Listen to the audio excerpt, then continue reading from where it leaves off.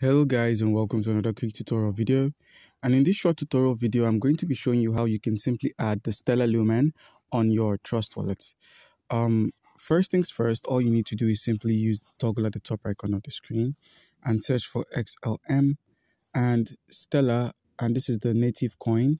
All you need to do is simply um, enable it and that's by using this toggle here you just enable the Stellar and once that's done it would need uh, one stellar lumen as the activation fee so the uh, network gets activated.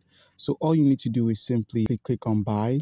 As you can see here we're given the option to buy the stellar lumen directly on our trust wallet. So you can simply pick any of these uh, exchange rates or providers and simply buy 27 call it $30 worth of the uh, XLM which is going to be 282 of the Stellar Lumen and you simply click on next, add your debit or credit card or do a bank transfer, wire transfer, whatever they ask. And that's how you can get it on Trust Wallet. But a cheaper method would be using Binance. And Binance is a centralized exchange where you can buy all these cryptocurrency assets for much cheaper.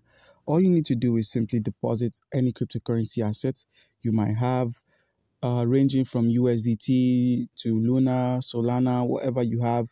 Simply click on the convert icon here. And we're going to be converting our USDT.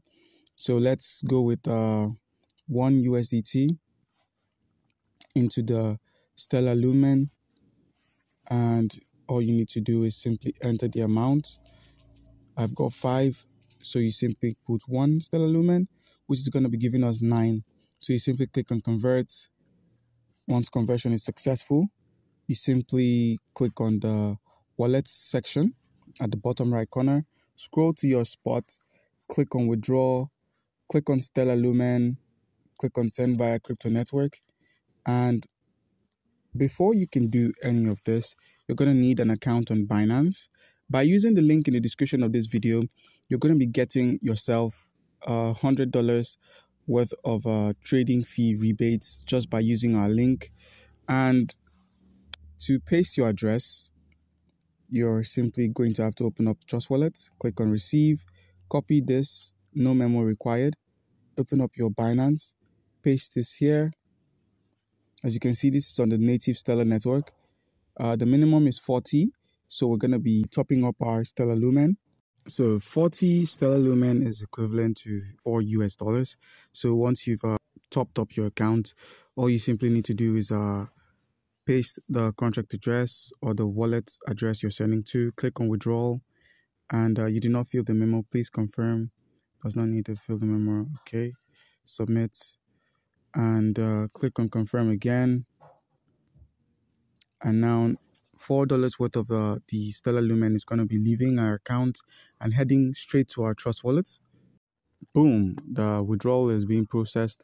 So all you need to do is uh, head over to your Trust wallet again, open it up, reload. Okay, guys, and with that, your Stellar Lumen is deposited directly into your wallet. So you could uh, use the Stellar Lumen as well for transaction and to pay your gas fees. So do comment down below if you have any questions concerning how we can add the Stellar Lumen on our Trust wallet and you'll be given an answer. Thank you.